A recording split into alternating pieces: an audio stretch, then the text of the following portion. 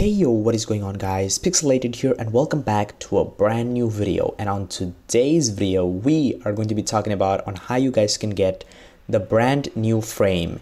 His name is Gauss and he just came out with the brand new update and so today I thought I would make a video talking about on how you guys can get his parts. Some people may not know on how to farm his parts, so that's why this video is for you guys to farm the parts quickly and efficiently. So to get the new frames parts, you're gonna have to do the disruption missions. Now there are about six new disruption missions. I'm just showing the Jupiter one because this was released early this year. Now let me explain what the disruption missions are. They are very simple. So first of all, you drop into the map and you have to go to a door and you have to hack the door in order to unlock rest of the map. After you hack the door, you're going to see that enemies are going to be coming out from left, right, and center and you're going to see there's going to be also four terminals that spawn.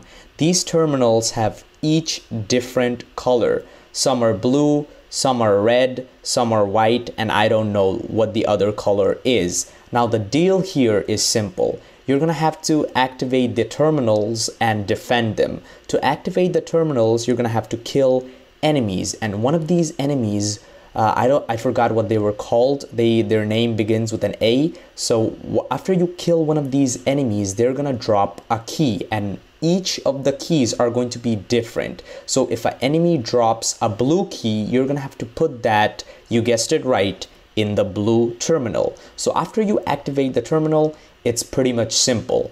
By the way, after you activate the terminal, the terminal is going to give you a buff or a debuff that is completely based on your luck. So after you activate the terminal, you're gonna have to defend it with that buff or debuff, like I said. So yeah, it is basically survival mixed with mobile defense. So that's how the disruption game mode works. Now, let me just explain how the Gauss parts are gonna drop in this game mode. So there are going to be about four rounds all right? Four plus rounds is totally up to you but there are going to be four conduits. So as you can see there is tire a tire b and tire c and i'm pretty sure these are the tires that are going to have the Gauss parts inside them. So the this is this is how the Gauss parts are going to drop. Maybe they're going to drop in tire a maybe they're going to drop in tire b or hell maybe they're going to be dropping in tire c. It's completely random. No one knows yet on which tire the Gauss parts will drop. It is completely random. It's completely rng and everything like that. But one thing I can tell you guys is that you're gonna be have to go you're gonna have to go into this mission with a really really good team okay? No joke. These enemies in this game mode are no joke and definitely go in with a good team. I'm going to be getting into the good team thing in just a moment. Let me just show you the proof that Gauss does drop in this game mode.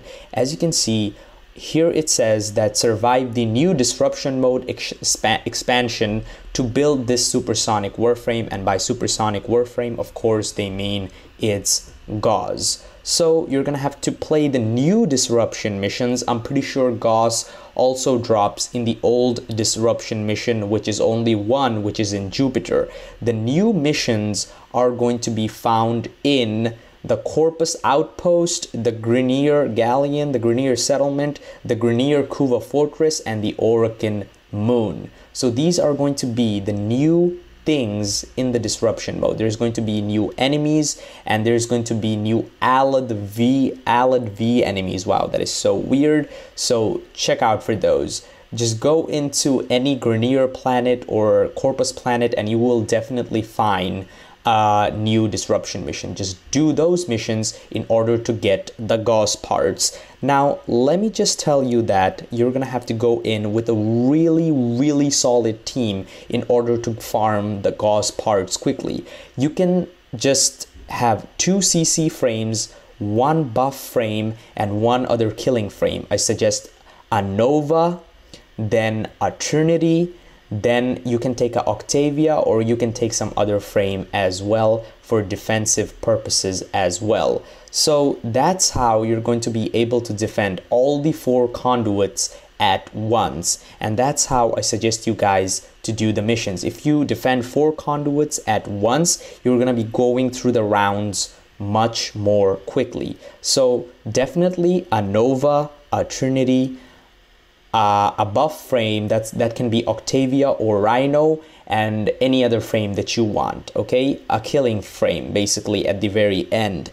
And also make sure all of the frames have good weapons equipped to them. So yeah that's it for the video guys. I hope you guys enjoyed this video. Hit that like button if you enjoyed the video guys. If you're new to the channel make sure you hit that subscribe button because hitting that subscribe button helps me out a ton. And yeah i'll catch you guys on the next one. Peace. Hope you all have a great day